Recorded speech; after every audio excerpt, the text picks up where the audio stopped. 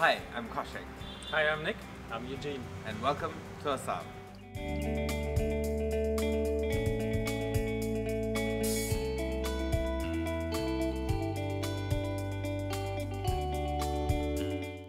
So, I grew up in Assam, a place full of natural diversity and wildlife.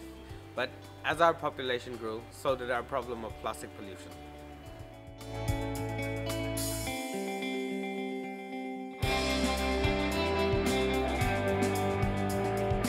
This is a typical site on the side of the road. People collect their trash in a pile and light it on fire to get rid of it. Here we see a waterway. There's no buildings on this side. So um, rubbish gets dumped here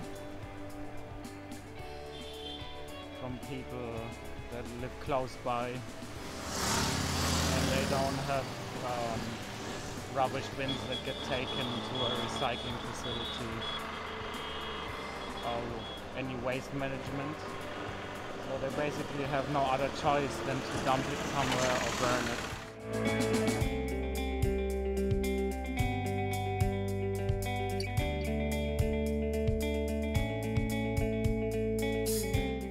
So this is where we step in because we always wanted to do something to mitigate this problem. And we finally found a way to do this. There's this awesome project called Precious Plastic, which is an uh, international community of people that want to reduce plastic waste. And um, they have designed machines, small-scale recycling machines, um, that they've given the blueprints for. And we basically now want to build these machines here in Assam so we can start plastic recycling over here. In order to do that, we need a lot of materials though, and they are quite expensive. And this is where you come into the picture. You can help us bring this project to life.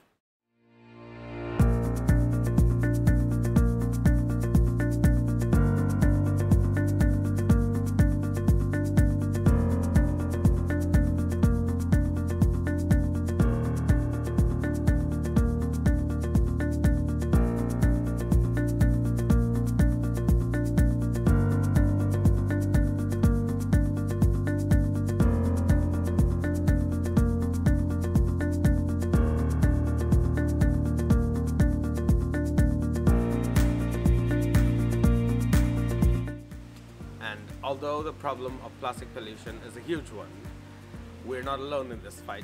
We teamed up with the Akshar Foundation, which runs a school on the outskirts of Guwahati, but Parmita will tell you more about that. We have a school here with 110 students. Uh, when we first started the school, the problem was that a lot of students were going to work as child laborers. So we were trying to find a way to get them back into school so that they can continue studies. So we started uh, employing older students to teach younger kids for only half an hour to one hour a day. But that way we can ensure that these older kids can stay in school. So for these older kids, we also started developing different kinds of vocational training programs so that these kids could work after school hours and then they get the skills and at the same time they get the money to stay in school. So one of those projects is the Akshar Recycling Project. So there what we do is we ask our students to bring in plastic waste once a week and that they are supposed to submit it as school fees. The school is free, we do not charge any money. So to get the parents to actually start doing it, we started calling the plastic uh, waste as school fees. So our kids bring in uh, plastic bag like at least once a week and with that plastic bags and the different kinds of wrappers that we get, our older kids, they make uh, eco bricks. So with that eco bricks, we can do different kind of construction. So we want to do more in this field and we were hoping that if we can get the precious plastic project going in our school, it will really benefit our students. Our students can learn a lot and we can find different creative ways to use the plastic. And it will be a great learning experience for our students.